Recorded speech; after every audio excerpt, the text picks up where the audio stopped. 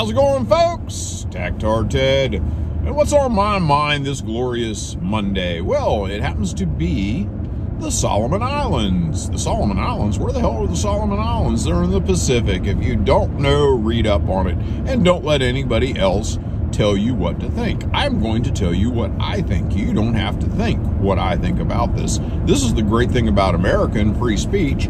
We can say our opinions and we should be allowed to say so. So let me tell you my opinion on the Solomon Islands deal. So apparently the Solomon Islands have concluded some sort of a deal or treaty with the Chicoms, yes, the Chinese communists, the people who gave us the Wuhan Red Death. Those folks, um, better known as COVID, those folks are not what I would consider good people. I consider them, next to Joe Biden, the greatest threat to American security. So, when Australia and the United States says, we're not going to allow the Chinese to put a base in the Solomon Islands, it threatens our security. In the Pacific, it threatens the United States' security. Okay, cool. I agree. You don't let people set up their bases in areas that threaten your security. Even though the Solomon Islands has sovereignty, even though the People's Republic of China has sovereignty, if it threatens your security and it's on your doorstep, which arguably the Solomon Islands is not on America's doorstep, you should be able to say, I'm not going to allow you to encroach on my security. Absolutely, I agree.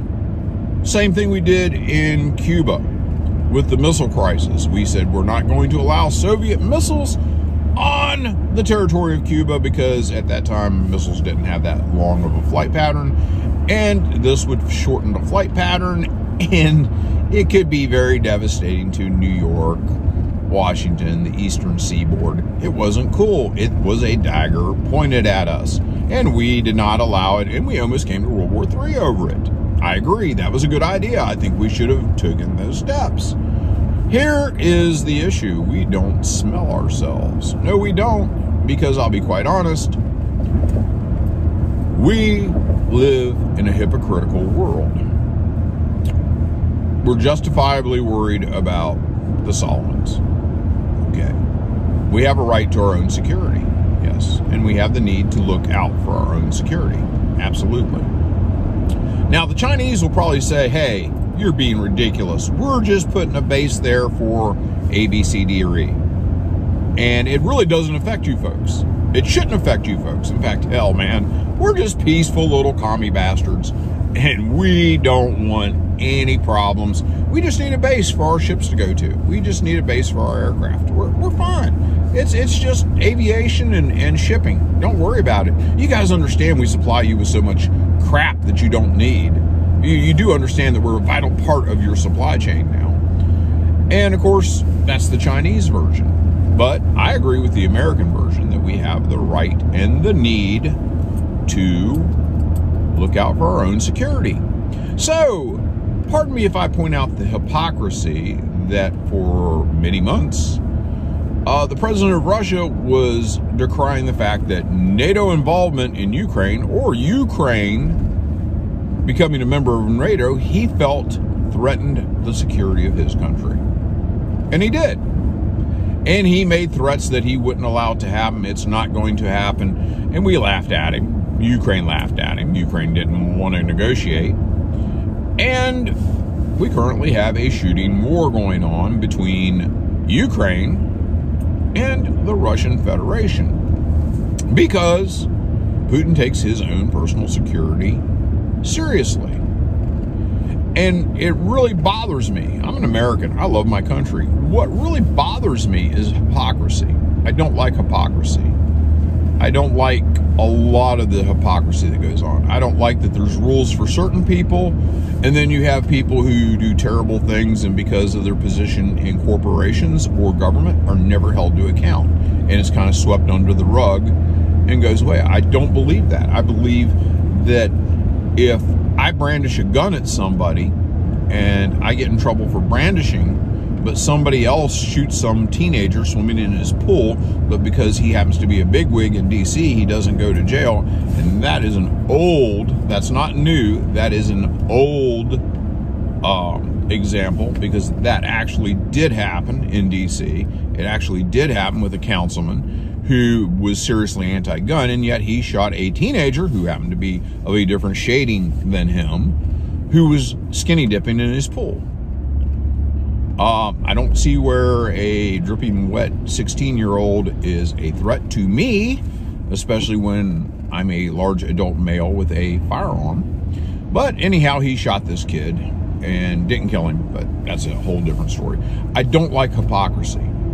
I really don't. So when we recognize pieces of other countries as independent states, as we have done in the past, when we bomb other countries to get our will enforced that we do not declare war on, I have a problem with that. Um, and then we turn around and we get on somebody else for doing the same sort of thing. We get on, we're not happy that Putin has um, recognized the Donbass, the, the two separate republics, Lugansk and Donetsk. We don't like that, but yet we did the same thing when we recognized Bosnia and took that from the Serbs. Um, it's to me, it's extremely interesting that it, it's that we can do anything we want, which we should be able to, but then we have a fit when somebody else does exactly the same sort of things we do. That doesn't bode well. That doesn't make us, um, in my ideas, it does not make us a beacon of freedom. It does not make us a beacon of integrity. In fact, the hypocrisy really helps to destroy American integrity. And we not that we not that our government doesn't have integrity problems at home. And don't get me wrong, I've served this country. I've wore its uniform. I've done things for it. And when I've found myself where I had oversight, I complied. I did my job. That's what, how I feel about my country. But me as an individual person, I have a right to call out what I don't think is right. I have a duty for my country to call out what I feel is wrong. And I believe the way we are acting over what's going on in Ukraine is bad. I don't think it's right. I don't think it's right at all. Um, a lot of this is reminding me of a lot of things we used to poke at the Soviet Union about during the Cold War we used to talk about how if there's conflicts, the Soviet people aren't allowed information about it. They're just told what the government line is. And that's what we have going on here. We've shut out any opposition media. That was something that the Soviet Union did. That's something that Nazi Germany did. That is something I don't tend to agree with because of freedom of the press, freedom of information.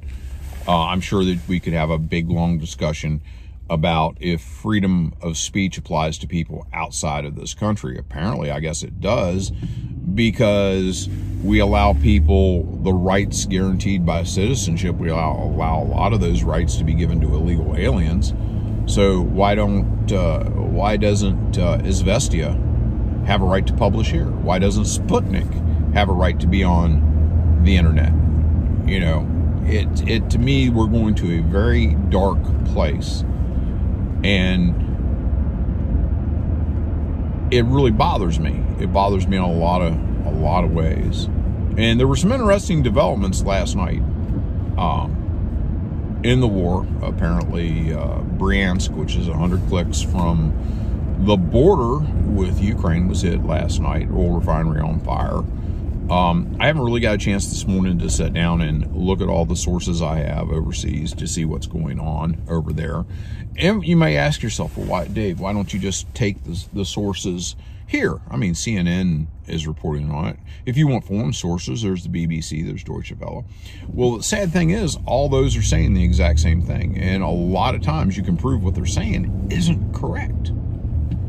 And there, but you have to be able to find the other side. And they've made it a little difficult to find the other side. I mean, guys, um, you know, let, us let's, it's no big secret. There are plenty of places I can go if I want to watch RT. But the problem is, most people won't put in the effort to find those places. And I'm not going to broadcast them here because the doxing left is going to get out there and just find ways to screw all that up, take websites down, all that happiness.